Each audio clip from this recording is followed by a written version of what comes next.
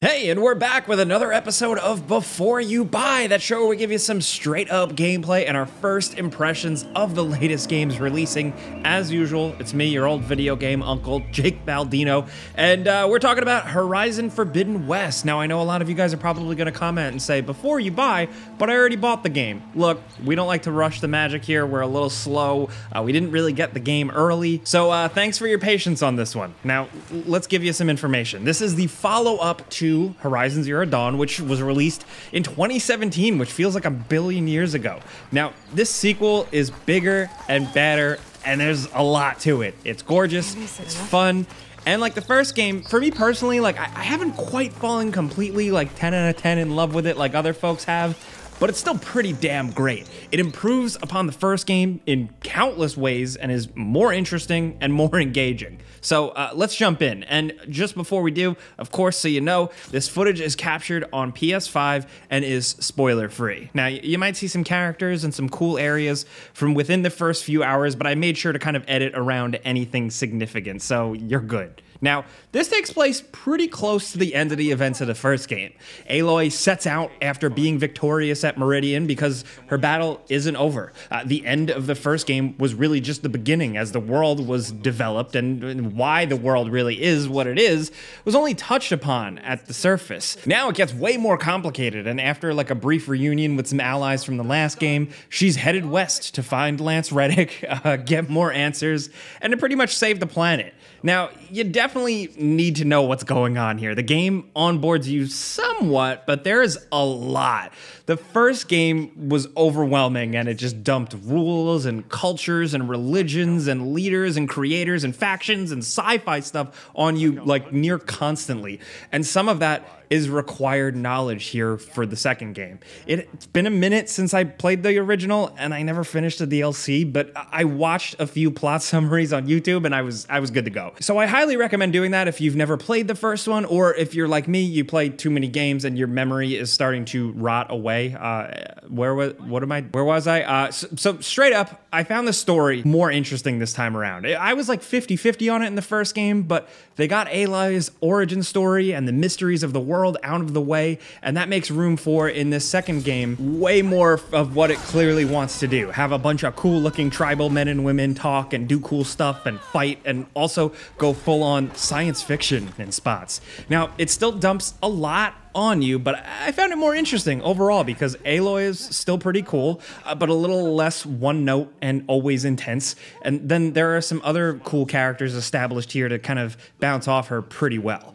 Now, it also helps that all characters, even some of the smallest ones that pop up, are like extremely emotive and realistic. The facial expressions are pretty out of this world, and it helps really sell everything, even if it's just sometimes for a side quest. Uh, there, there's still a lot of forgettable characters, but it helps make a difference, at least for me, at least, you know, keeping me interested. It has a slow start, but uh, just about like once you get past the embassy, you're in for a good one. Now, the meat and potatoes, of course, is, is the gameplay. And once again, Horizon is a Monster Hunter game in disguise. And like that's not a bad thing. You have a shit ton more equipment at your disposal now and there are more robot creatures uh, that have even more stuff to shoot off of them and collect and then craft and make more cool stuff. Uh, every creature has multiple parts and multiple ways to take down, various strengths and weaknesses, and it can be absolutely staggering at times when you scan them and look at everything. And along with that, you can have a weapon wheel with every type of weapon for damaging certain parts with special attack water, burning, and acid to break down armor, penetrating arrows to break stuff off. I'm only scratching the surface, but like the real star is actually just the weapon variety. It's just really nice. And one of my my favorites is like the throwable exploding spears. Now, it, it is still very much a weapon wheel, the game, where you're constantly bringing it up and swapping stuff in and out. And it's a bit much, you know, the combat's still a little weird. You can, from the options, thankfully set up a quick weapon swap, but there are so many tools, you're still gonna need to bring that sucker up a lot. It's very micromanagey, but it's still fun because it can be tactical, especially when you play it smart and plant some traps and make your big hunt go down. Now, human encounters are stronger now because Aloy has a bit more melee capability, and in the environment, there's just more. It's still messy, but there are better ways to take down a base than just kind of like hiding in the grass, which bored me in the first game. Now, my only real big issue is that there's not much really still in terms of defensive stuff for a lot of the game, other than just running away and spamming the dodge roll when some creatures start chasing you. Like, it can still make some encounters feel a bit sloppy and goofy, especially because so many of the robots can still just like one shot you. You know, I'm not complaining. I do love the challenge, but like the way the attacks are telegraphed and how to avoid just never still feels quite right. Thankfully, as you do unlock more stuff, you get some tricks, which I'll get to in a bit.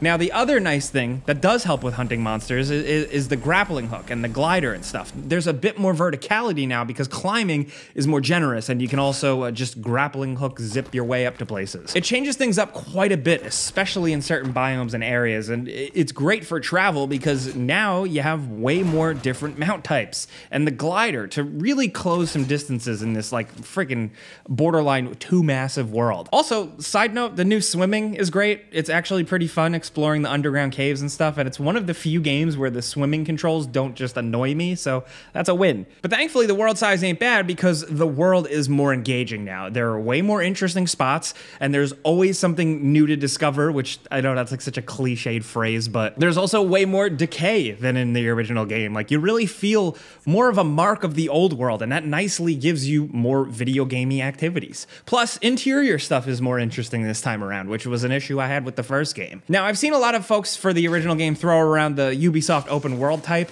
uh, you know, the type filled with cluttered maps and endless, mindless filler content to keep you busy. Now, I got some vibes here and there slightly with the first game, but I think it's much better this time around. Everything is more interesting. The side quests are more compelling and sometimes meaningful, always rewarding, and the activities are generally worthwhile. I found myself stumbling upon way more than I expected, and I just felt like I, I didn't want to ride my mount super fast through everything this time around because it's just so much more dense. But it's dense with stuff that's worth your time. It's not copy and pasted, and you can just kill hours just exploring, doing side quests, finding stuff and really cool little puzzle encounters, climbing the tall necks, which are more engaging this time around, and just getting stronger. If you're cynical about too many open world games and like how they just kind of pack filler in there, I, I know I certainly am sometimes, but you might end up feeling good about this one. A lot of it is just rewarding, and I don't mean it in the sense like you always are gonna get perfect loot that is worthwhile, but I mean rewarding just in like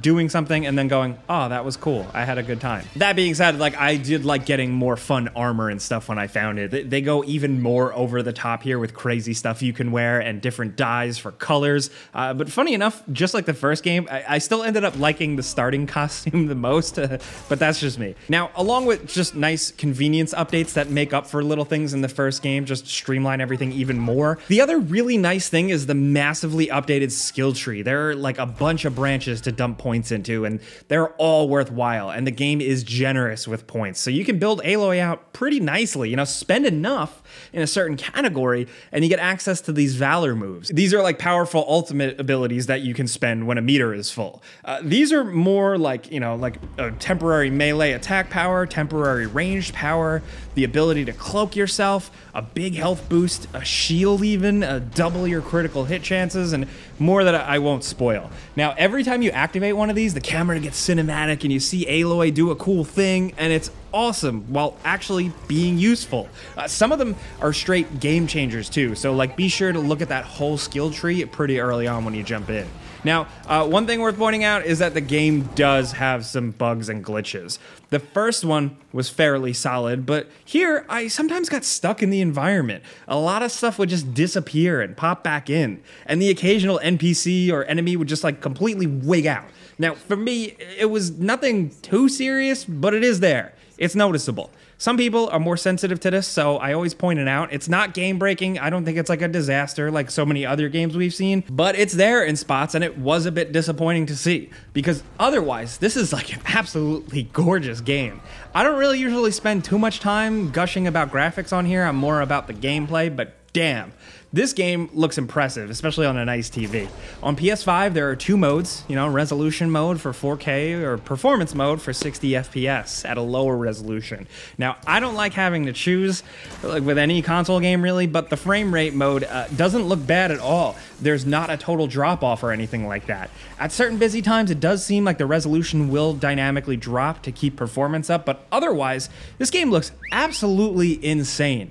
The lighting, the character models, the detail in the environments, the particle effects, the colors, the world, and draw distance, all of it consistently makes me stop and go, damn. And then I open up photo mode, which again, shout out to the photo mode community. I can't wait to see what you guys do with this one. It's wild. So, uh, Horizon Forbidden West is a big improvement upon the first. At the start, it just feels like more Horizon, but the deeper you go, you might just end up wanting to stay in this world longer. I was surprised just how much I have. Uh, there's still something missing for me here.